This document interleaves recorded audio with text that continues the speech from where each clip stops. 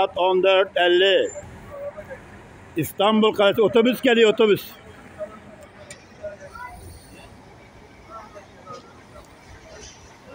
İstanbul.